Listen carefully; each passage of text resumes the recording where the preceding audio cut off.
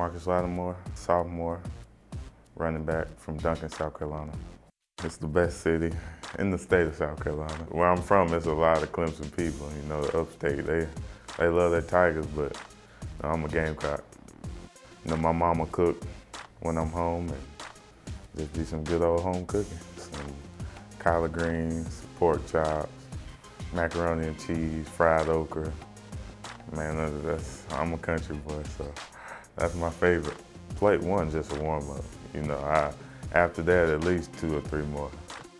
I've been bowling since I, I was like 14, 15, so I done got pretty good at it. Matt O'Brien, he bowled like over 200 every time he bowled, and uh, Kenny Miles pretty good. Dylan Thompson, uh, we got a lot of good bowlers on the team.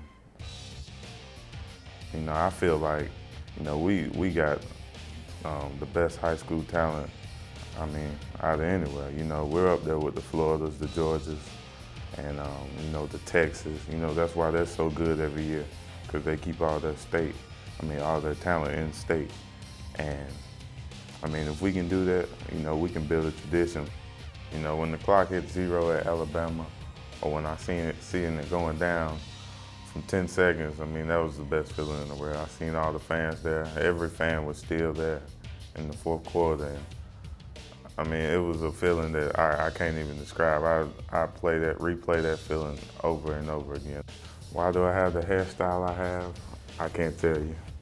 It's a secret. I'll tell you if we win the SEC championship. I think the way I run the football, I mean, like a mix of Marshall Faulk or, you know, Pierre Thomas. You know, I, I can, you know, get through those little holes. I can find that little hole and, you know, burst and, you know, run you over or, or run around you. I mean, not that fast, but, you know, just got enough speed and uh, put on some weight.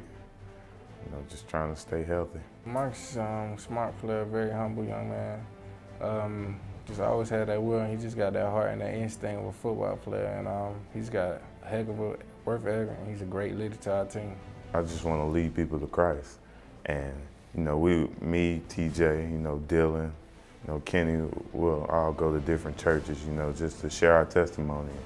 You know, let people know that, you know, you can, it's all right to be a Christian. You don't have to be afraid. You can stand up and, you know, praise him because, you know, I wouldn't be doing the things I'm doing right now if it wasn't for him.